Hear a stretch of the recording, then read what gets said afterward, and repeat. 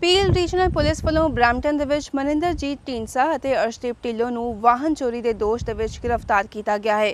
ਜਾਣਕਾਰੀ ਮੁਤਾਬਕ peel regional police ਨੂੰ ਸੂਚਨਾ ਮਿਲੀ ਸੀ ਕਿ ਬ੍ਰੈਂਪਟਨ ਦੇ ਗੋਰਵੇ ਡਰਾਈਵ ਅਤੇ ਹੰਬਰ ਵੈਸਟ ਪਾਰਕਵੇ ਖੇਤਰ ਦੇ ਵਿੱਚ ਇੱਕ ਸ਼ੱਕੀ ਵਾਹਨ ਖੜਾ ਹੈ। ਇਸ ਮਗਰੋਂ ਪੁਲਿਸ ਟੀਮ ਜਦੋਂ ਉੱਥੇ ਪੁੱਜੀ ਤਾਂ ਉੱਥੇ ਉਹੀ ਪਿਕਅਪ ਟਰੱਕ ਖੜਾ ਸੀ, ਜਿਹੜਾ ਹਾਲਟਨ ਰੀਜਨ ਤੋਂ ਚੋਰੀ ਹੋਇਆ ਸੀ। ਉਸ ਵਿੱਚ ਦੋ ਵਿਅਕਤੀ ਸਵਾਰ ਸਨ।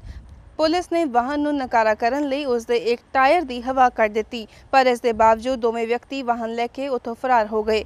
ਇਸ ਮਗਰੋਂ ਇਹ ਦੋਵੇਂ ਵਿਅਕਤੀ ਇਹ ਵਾਹਨ ਲੈ ਕੇ ਬ੍ਰੈਂਪਟਨ ਦੇ ਕੁਈਨ ਸਟਰੀਟ ਅਤੇ 에ਅਰਪੋਰਟ ਰੋਡ ਖੇਤਰ ਦੇ ਵਿੱਚ ਇੱਕ ਗੈਸ ਸਟੇਸ਼ਨ ਉੱਤੇ ਪੁੱਜੇ।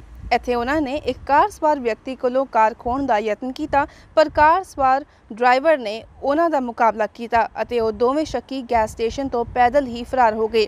ਇਸ ਮਗਰੋਂ ਪੁਲਿਸ ਟੀਮ ਨੇ ਦੋਵਾਂ ਸ਼ੱਕੀਆਂ ਨੂੰ ਫੜਨ ਲਈ ਇਸ ਖੇਤਰ ਦੇ ਵਿੱਚ ਖੋਜ ਮੁਹਿੰਮ ਚਲਾਈ ਅਤੇ ਉਹ ਦੋਵੇਂ ਇੱਕ ਟਰੱਕਿੰਗ ਯਾਰਡ ਵਿੱਚ ਲੁਕੇ ਹੋਏ ਸਨ, ਜਿੱਥੋਂ ਪੁਲਿਸ ਨੇ ਉਹਨਾਂ ਨੂੰ ਫੜ ਲਿਆ। ਜਾਂਚ ਦੇ ਵਿੱਚ ਪਤਾ ਲੱਗਿਆ ਕਿ ਇਹ ਦੋਵੇਂ ਸ਼ੱਕੀ ਗ੍ਰੇਟਰ ਟੋਰਾਂਟੋ ਏਰੀਆ ਦੇ ਵਿੱਚ ਹੋਰ ਵਾਧੂ ਅਪਰਾਧਕ ਮਾਮਲਿਆਂ ਦੇ ਵਿੱਚ ਸ਼ਾਮਿਲ ਹੋ ਸਕਦੇ ਹਨ।